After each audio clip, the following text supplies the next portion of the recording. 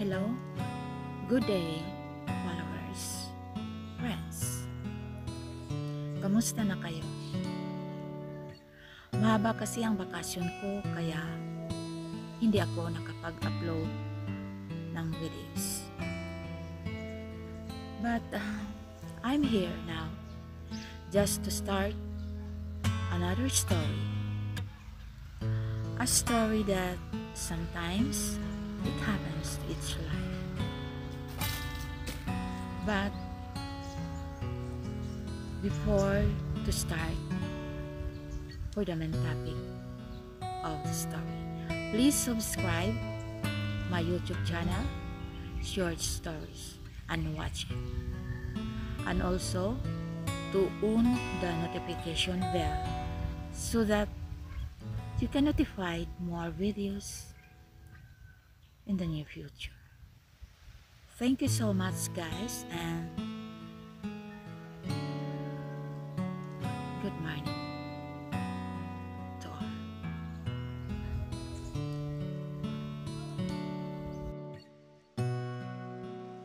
Isang ina sa anim na mga anak ang isalaysay ko sa inyo ngayon. At sana magugustuhan nyo ito at makarelate ang iba dyan, lalo na sa mga anak na may pagkukulang sa kanilang mga magulang. Siya si Cora Labastida, 59 years old.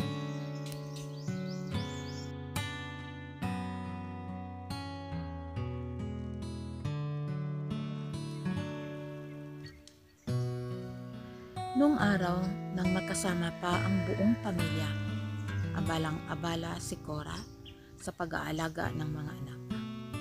Walang time sa pag-ayos sa sarili nanatili ito sa pag-aasikaso sa pagluluto kung meron mang lulutuin.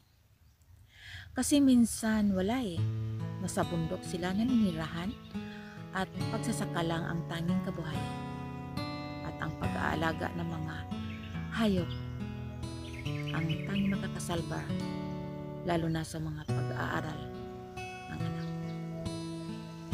Alam ni Cora na may kawalan sila sa kanilang buhay, sa kanilang pag-aaral dahil walang sapat na pagkain at mga gamit pang school. Ngunit kahit papano nakakaraos din.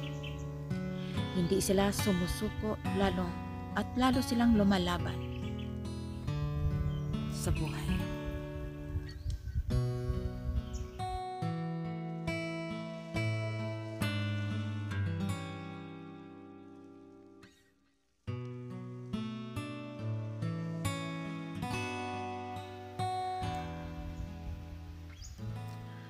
Dahil sa pagkakaisa, nakatapos ang lahat sa pag-aaral na walang utang na naiwan. At dahil may awa ang Diyos, nakapag-abroad sila sa bansa ng Australia at ang isa ay nasa Europe.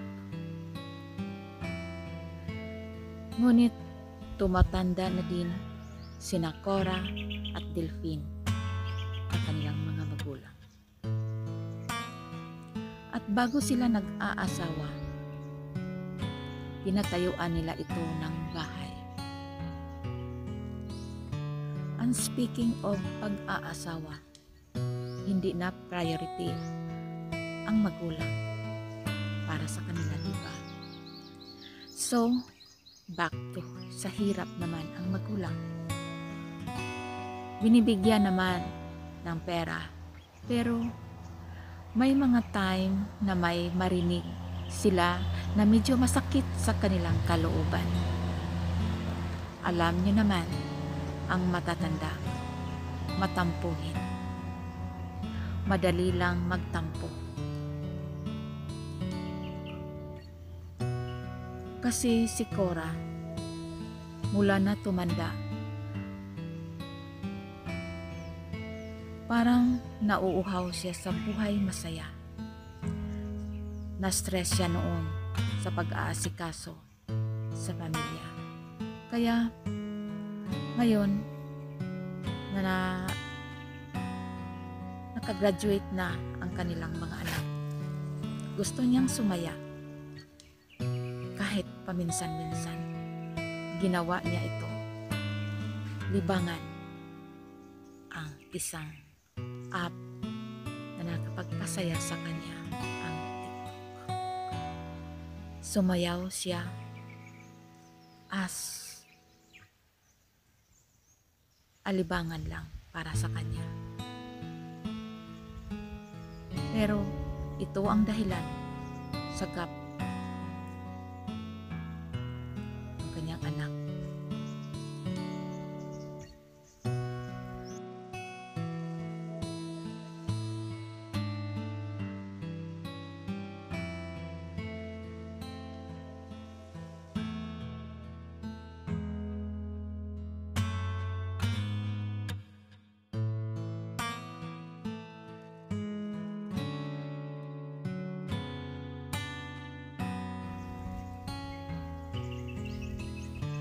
Dahil sa pagkakaisa, nakatapos ang lahat sa pag-aaral na walang utang na naiwan.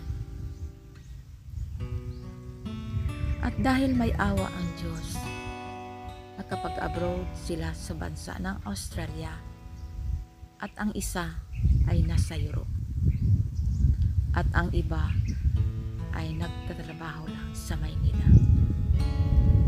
May sapat silang income para sa kanilang pamilya. Ngunit tumatanda na din si Cora at Delphine na kanyang asawa.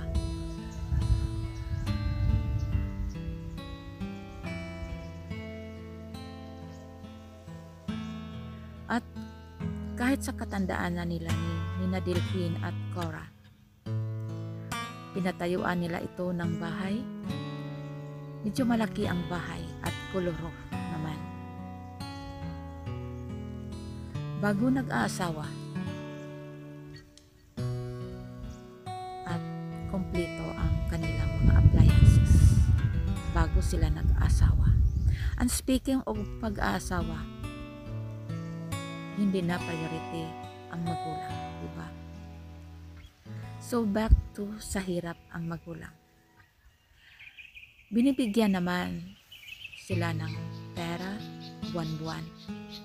Pero may mga time na may marinig sila na medyo masakit sa kanilang kalooban. Alam nyo naman ang matatanda, matampuhin. Madali na magtampo. Alam nyo kung bakit? Kasi si Cora, mula na tumanda, Parang nauuhaw siya sa buhay, masaya. Na-stress siya noon sa pag-aasikaso sa kanyang pamilya. Kaya gusto niyang sumaya kahit paminsan-minsan na ikinagalit sa kanyang pangalawang anak at naging dahilan sa gap nila ngayon. Kasalanan ba niya ang kanyang ginawa? Mga kaibigan?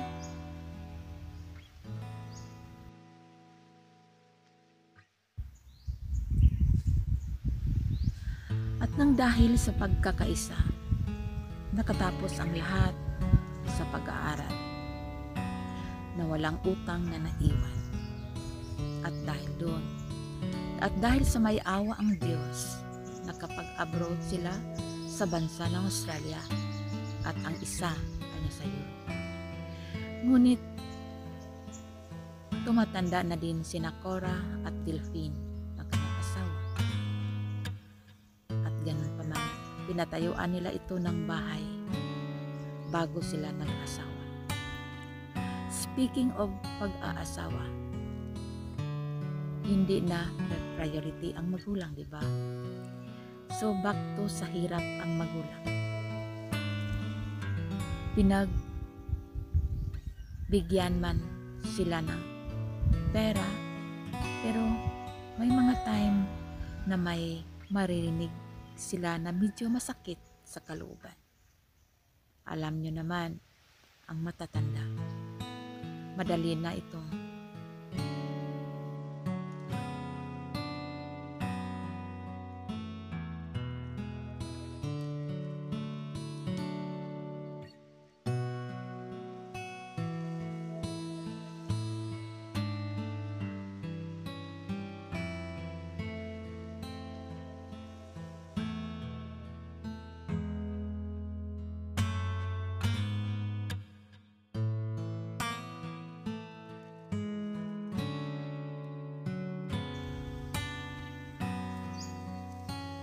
Sabi ni Cora, bakit sila magagalit sa pag-entra ko sa TikTok?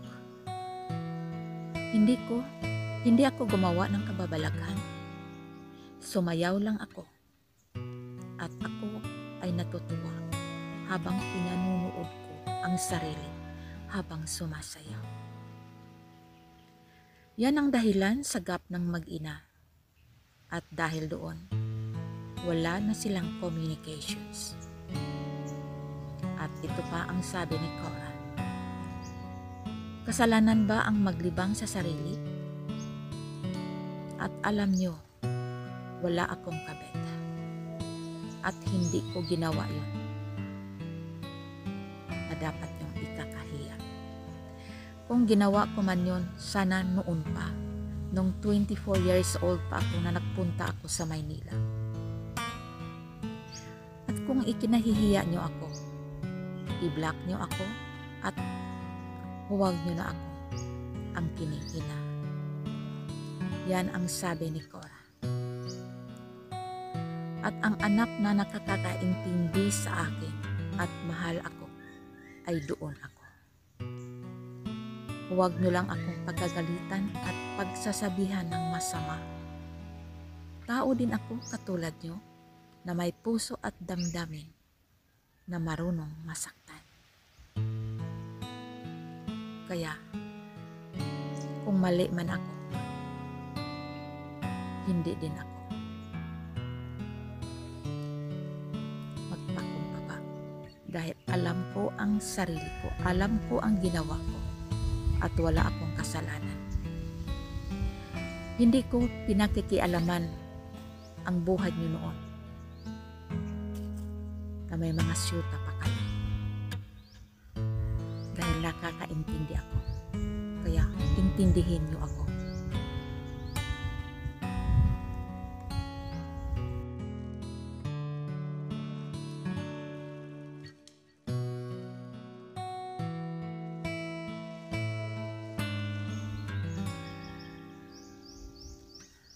At kahit paman sa gap ni Nina Cora at sa kanyang mga anak. Patuloy ito na nagdarasal araw-araw para sa kanilang kaligtasan at magiging successful sila sa kanilang buhay upang matitikman nila ang sagana sa buhay. Ito ang sabi ni Cora. Lihim ako na nagdarasal para sa inyo mga anak. At ito lang ang tanging maitutulog ko sa inyo. Na sana hindi nyo matitikman ang natikman kong kahirapan sa piling ng aking mga magulang. Mahal ko kayo, ngunit dama ko na hindi nyo ako mahal. Kahit paman sa kabutihan na inaalay ko sa inyo.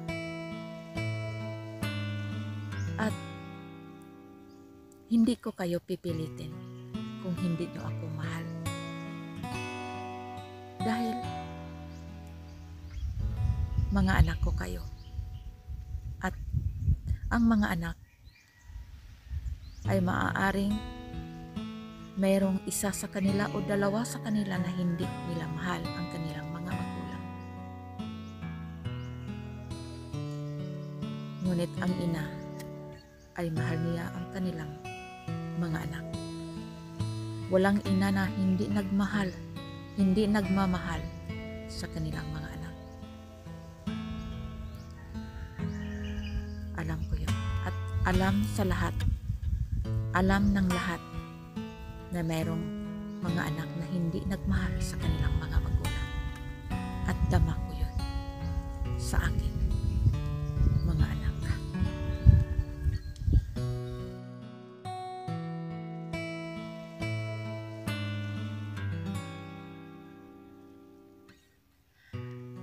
magulang ay hanggang sa pag-aalaga lang sa mga anak mula sa simula. Ang mga anak ay magiging atin lang ito habang sila ay nasa atin pang mga kamay. Habang sila ay lumalaki ng palaki,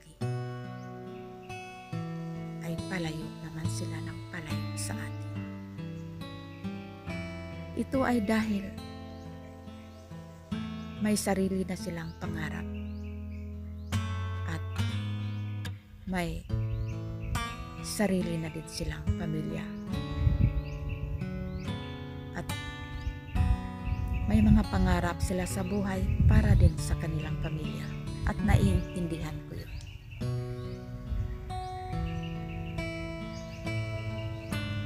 Dahil ganun din ang ginawa natin sa ating mga magulang.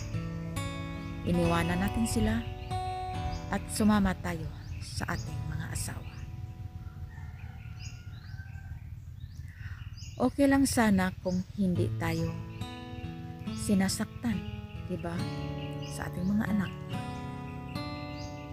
Ang salita ay mas masakit pa para sa atin. Ako ang ina na hindi luluhod sa anak. Kung ayaw nila sa akin, hindi ko sila pipilitin na mahalin ako. Ipagpapatuloy ko ang aking nasimulan dahil alam ko ang aking ginagawa. Kaya, sana maintindihan mo ako.